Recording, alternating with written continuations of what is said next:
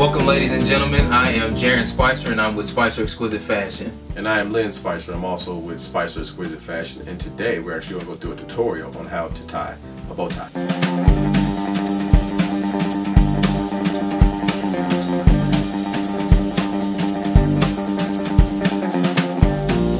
And as my brother said, we're going to go through a tutorial on how to tie a bow tie we're not showing you how to put a clip-on on. So for you grown men out there, we want you to know how to tie a Spicer Exquisite Fashion bow tie, and we'll leave the clip-ons for prom. So we'll go ahead and get started.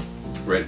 Okay, so we're gonna start from straight from the top. Uh, you want to make sure that the length of the bow tie is the proper length for your neck. So what we use here at Spicer Exquisite Fashion are button adjustments, so it may or may not make it a little easier for you. And what I like to do is go ahead and pop my collar. We'll put the bow tie around, and I put my collar back down. Others may like to do it a little bit different. So I'm one of those others that like to do a little bit different and that I like my collar up a little bit. Gives me an opportunity to kind of see the bow tie uh, as I'm tying it.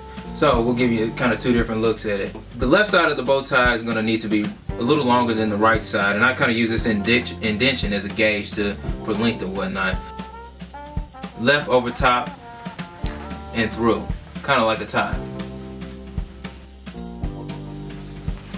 And you want to pull it fairly fairly snug just to keep everything kind of clean and pristine at this point. And you're going to take this top piece and you're going to throw it over your shoulder because we're not going to utilize that right now. So we're going to take this piece and grab the fattest part of the bow tie and with our right index finger we're going to pull it over here. And as you can see this kind of starts the bow tie. So you take the piece that's on your shoulder and you want to pull it over top. And at this point uh, we brought two friends with us, our, our two elephants. So we have the elephant ears, which I'm holding, and the elephant trunk kind of hanging down at this point. Um, so we're going to bring the elephant ears together now. Okay, so here's the point at which we get a lot of frustration, got a little feedback on most men that having a problem with actually trying to complete their bow tie. So one of the things that we have to make sure we have to do is identify the hole that we're actually needing to actually complete the actual bow tie itself. So uh, as you can see from the side, uh, we're going to try to find this hole and we're going to actually take the trunk. We're going to take the widest part of this trunk and stuff it through the hole here.